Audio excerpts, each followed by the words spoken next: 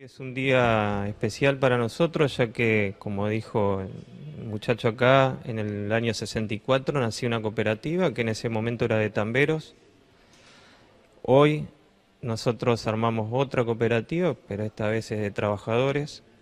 El objetivo obviamente es el sustento.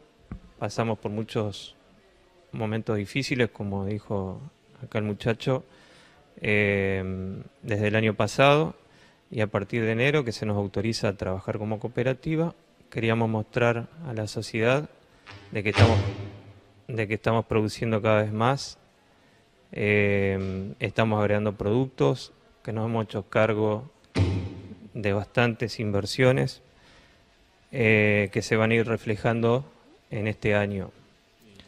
¿Cuántas personas hoy están trabajando? Eh, ¿Ha sido un proceso difícil hasta poder lograr esto que estás contando del presente? Exacto. Hoy somos en la cooperativa 45 asociados.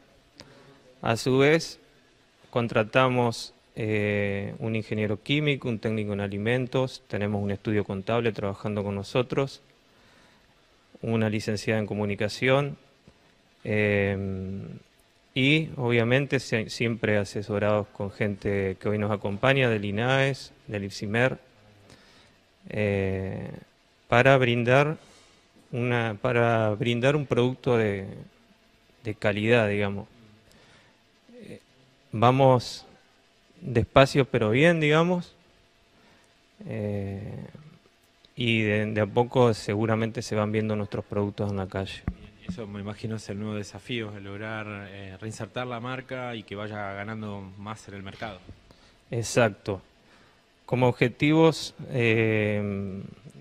de ahora, digamos, es restablecer el canal comercial en la ciudad eh, y como un objetivo más a mediano o largo plazo es que Cotapa eh, no desaparezca. Ese es nuestro principal objetivo porque lo más triste que hay es el cierre de una fábrica, ya que como todos sabemos una fábrica no solo genera el sustento de las 45 asociados que se encuentran hoy trabajando directamente, sino que fuera de las puertas interactúan otros factores económicos que, que viven de la fábrica, distribuidores, comercios, proveedores, clientes, que es nuestra pauta, digamos, cuidarlos a ellos sobre todas las cosas.